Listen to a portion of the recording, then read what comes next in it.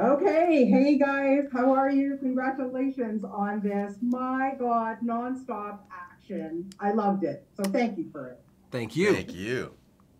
You're very welcome. Uh, Stephen, first off, I got to ask you, you know, here we are five years later with these characters. But what I love about it the most, I think, and probably you guys as well, is that everybody's back. Yep. Everybody, it's family. What was it like the first day on set when you guys all reunited for this? Well, I mean, it's not just the people. It's not just the people in front of the camera. It's the people behind the camera. We've had the the vast majority of our crew have been with us since the short film, not the first Yeah. film, the sh- the short film, and uh, everyone everyone that we could came back. If if they, I think we we lost our director of photography because he was having a, his first kid, like right as we were starting the movie.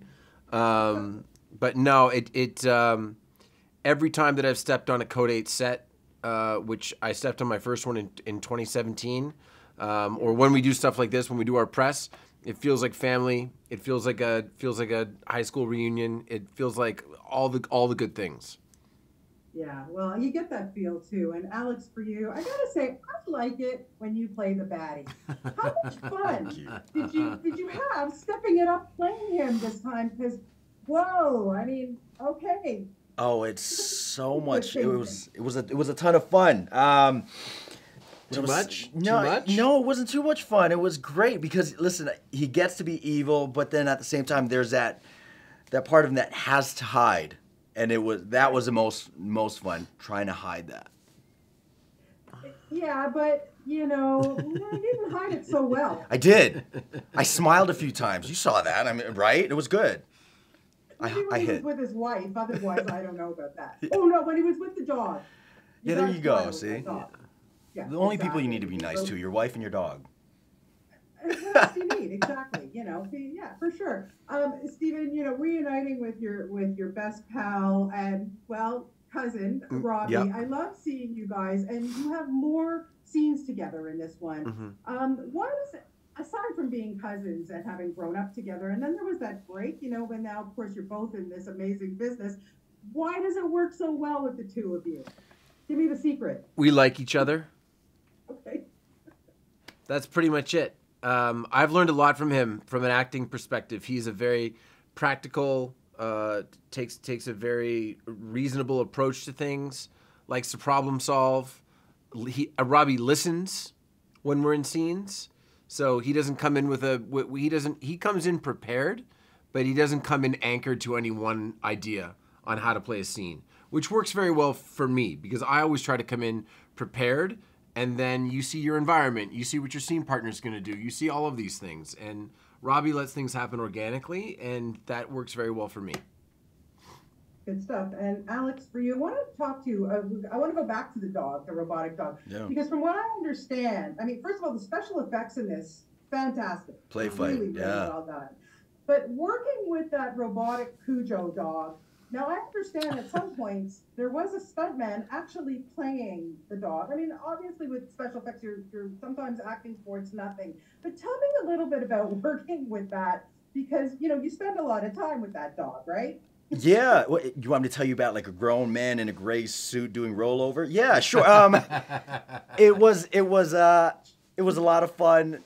It made the job a little difficult because King had to be king, and here's this person doing rollovers and sit and, and just commanding a grown man to say to sit is weird. Yeah, but it was tons of fun at the same time.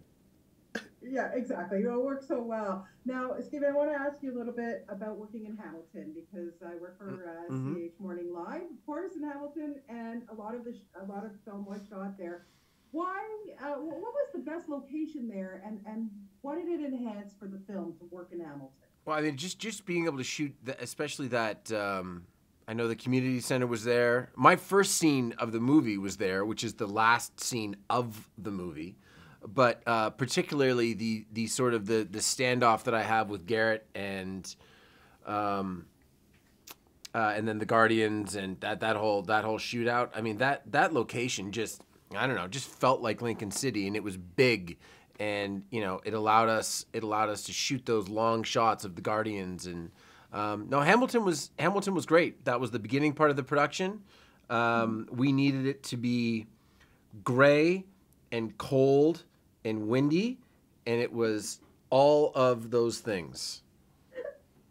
You got what you needed. That's exactly right. Although, with the, if you had shot in the weather now in Toronto, can Yeah. you imagine? Like, what is going on here, Uh, people? Listen, I, listen. I'm I'm I'm in LA right now, and I'm walking my daughter to school, and it's like two Celsius. I'm like, what is happening? So things are weird. it's- it's things are for you to weird. Things are weird everywhere. Yeah, things are weird. Just Yeah. stay everywhere. Tell me inside and watch Code 8 Part 2. That's, That's what exactly needs to do. right. This is exactly what people need to do. They need to stay inside and watch Code 8 Part 2. Okay, so Alex, uh, you know, I, working with or being back with Robbie and Stephen, you know, uh, what do you like so much about working with these guys? And you can be really honest, even though you're sitting next to them. He's glaring at me. Um, no, it's it's great to learn from them. They're so experienced and uh, they're so good at what they do that I get to I get to be a student every day on set, you know, and um, took a lot of notes from them. So they're just wonderful teachers and, and wonderful leaders. Yeah, yeah. And Stephen, just to wrap it up, um, if you could do another series, movie, whatever with Robbie, what would you guys want to do? I, I, I could see you in a rom com together at some. No, not together. I understand. I no, it would be nice to do, it would be nice to do a comedy. It would also it would also be nice to um, you never typically end after the second movie. I mean, there there are very there are famous sci-fi trilogies out there. So maybe we can set our sights there. If if you can avoid this weather and stay inside and watch Code 8 Part 2 on Netflix. Well, I think a lot of people will be watching this. It, like I said, it, it's just an amazing story from the get go and the support of the fans, because without that, you guys wouldn't be talking to me right now. So, uh, like I said, I'm one of them. I appreciate it. So, I'll keep my fingers crossed for that number three. I would love that. So, thank you both for your time today. I really appreciate it. And best of luck with everything. Thank you so much. you. Take care.